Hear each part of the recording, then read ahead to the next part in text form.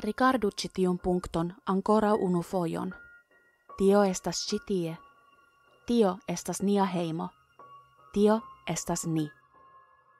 Ciui, kiun vi amas. Ciui, kiun vi konas. Ciui, pri kiui vi iam audis. Ciui, iam vivintai homoi, travivis siain vivoin surgi. Niai tutai gioioi, kai suferoi, Miloida men fidai religioi, ideologioi kai ekonomiai doktrinoi. Ciu chasisto kai kolektisto. Ciu hero kai timulo. Ciu creinto kai detruanto de civilizoi. Ciu regio kai campulo. Ciu juna paro enamigita. Ciu patrino kai patro. Ciu capabla infano, inventisto kai voyagianto. Ciu instruisto pri etico. Ciu mensogema politikisto. Ciu famegulo. Ciu plei granda quidisto. Ciu sanctulo kai peculo en la historio de nia spezio vivis citie. Sur polvero pendicita en suna radio.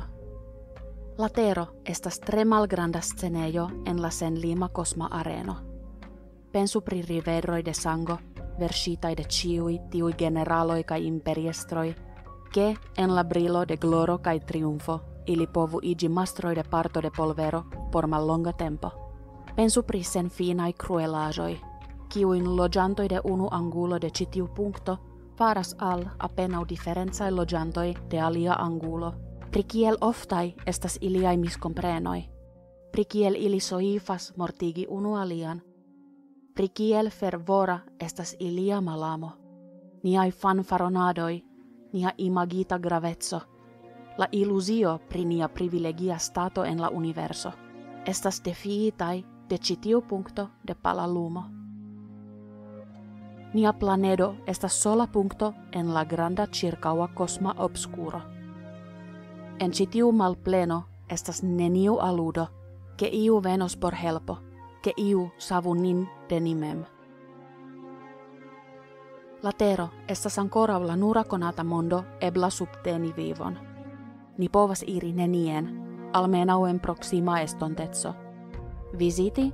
Yes. Logigi? Ancora ne. Ne gravas, ciu vi shatas tion au ne. La estas nun nia domo. Oni diras che l'asperto de astronomio donas modestetson kai fortigas la karakteron. Eble ne estas plei bona demonstro de la malsagia homa fierezzo ol tiu ci distanza bildo de nia malgrandega mondo. Lau mia opinio, gi enfasas nian respondetson esti pli bona unu kun alia, apresi kai varti la palan bluan punkton, la nuran heimon, kiun ikonas.